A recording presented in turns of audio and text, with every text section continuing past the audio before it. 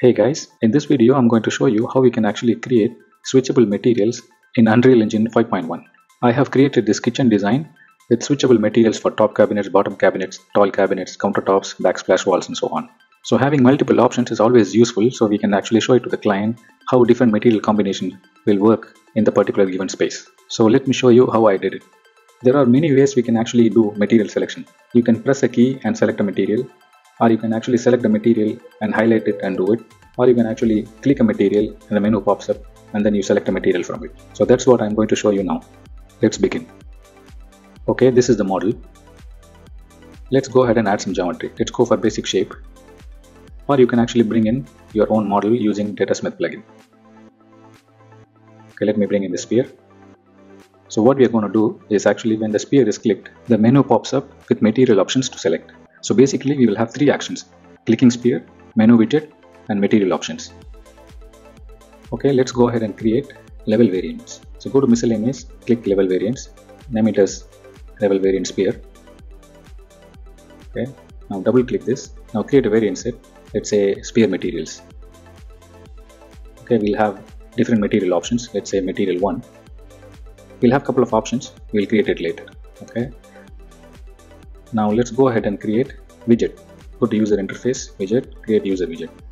Call it as widget sphere. Double click. Okay, now we need to create menu. Now let's bring in horizontal box. Okay, now right click and wrap with canvas panel. Now you see the anchors are at the corner. So if you just bring it to middle and realign this horizontal box. Now we'll have two buttons. Button 1 one more button.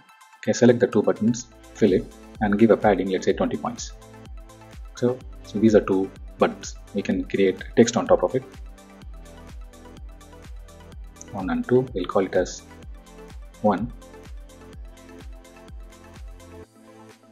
and this we'll call it as so basically these are two buttons. Now we need to give actions for these buttons. Go to graph. And now let's build an event construction so drag a pin from event construct and call get all actors of class. So basically this event will get all actors of the class in the file. So what we are going to do we are going to call only level variant set class. So select level variant sets actor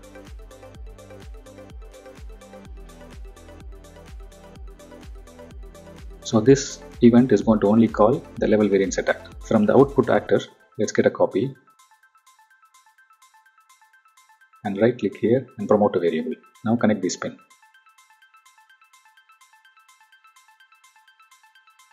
Now what we need to do, this button when it is clicked, we need to call that particular uh, thing. So from here, let's pull it out. Let's call uh, switch on variant by name because we are creating material 1, material 2 and so on. We don't need this pin, so we can disconnect this pin by clicking Alt. Now connect this pin and get the variable set from the target. Now the variable set name is basically this name, sphere materials. The variable material sub material is material 1. Okay, let's enter variant set name as sphere materials.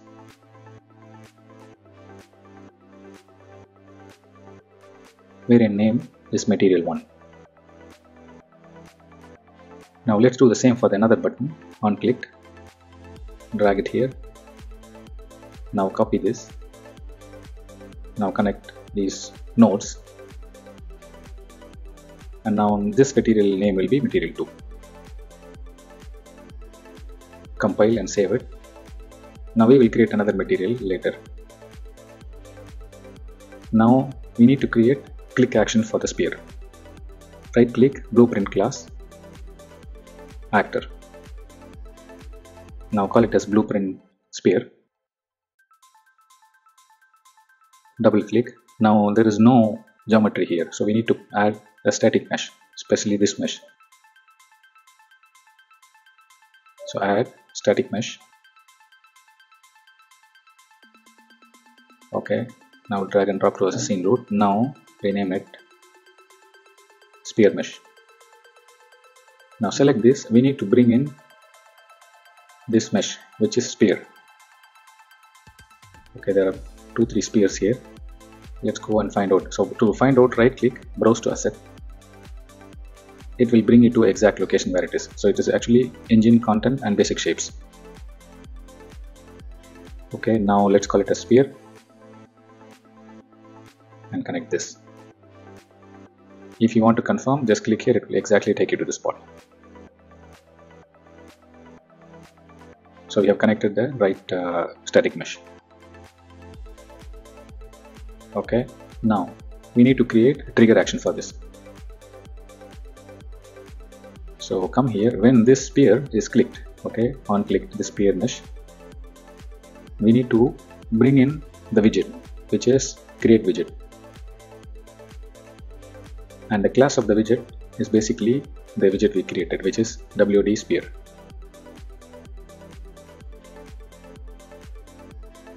and the player is get player controller. So what happens?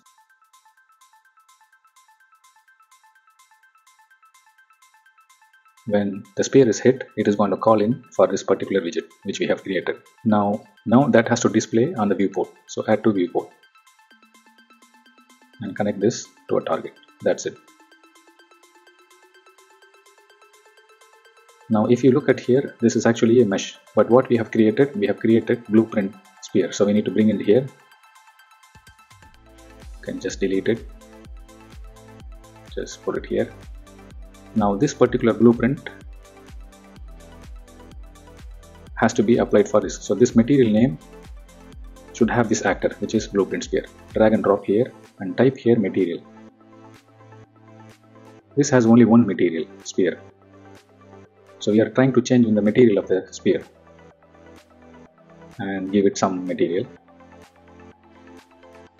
Now duplicate this and call it as material 2 now this sphere we will apply maybe walnut.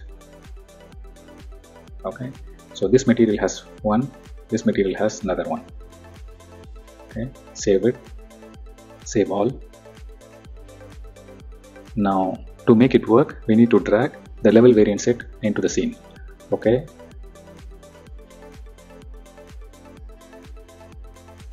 you see now when you click the menu pops up 1 2 1 2 now you can go ahead and create another uh, button maybe another variant. Drag the button put it over here. Select all three buttons fill it and give it a value for the padding equal values. Let's copy it when this button is clicked. Okay add it here. The target is coming from the parameter. Now this material name will be material 3 now save. Now come to the level variant manager. Duplicate this. Call it as material 3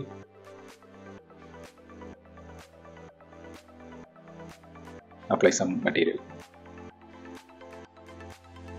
save okay play place it again.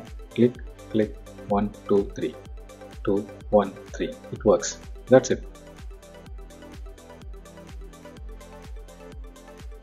So like this I have created for this like top cabinets bottom cabinets countertop backsplash wall tall cabinets so yeah that's it. So you can create any number of material combinations. Come back here create a level variant add material submenus and in the widget menu add a button and give the variant name. That's it. That's it guys. I hope it helps. If you like this video i would appreciate if you give me a thumbs up and subscribe to my channel. That would give me motivation to do more videos. And if you specifically want to know any trick kindly do let me know in the comments below. Thanks for watching